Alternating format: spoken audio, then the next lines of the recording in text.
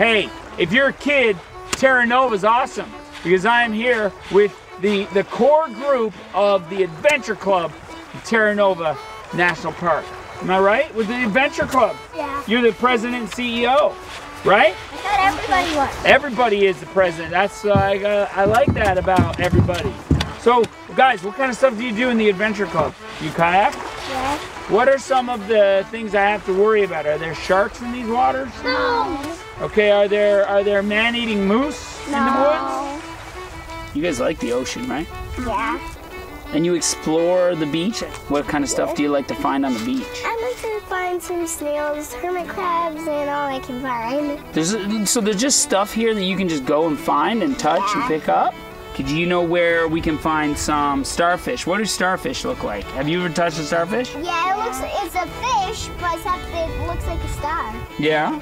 And then what about crabs? You see crabs? Yeah. Yeah, a lot at beaches, especially.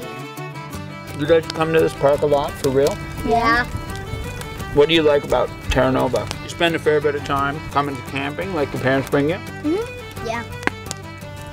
You must love it. I mean, it's beautiful here. It really is. It's so beautiful here. So what do you got there? Yeah, what is it? It's that? like a crab shell. Oh wow! So let's see it. You know what? It's uh oh hello. Uh, yeah. You want to speak to Quinn? You want that? It's yeah. Shoot right here. Is this the ocean? Hmm. I think the ocean and the wind is speaking. and it's telling us to go explore. Come on, guys, let's go explore.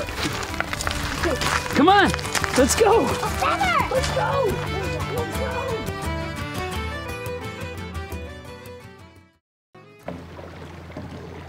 Uh, guys, uh, I I think I adventured a little too hard. Are you stuck? I I I think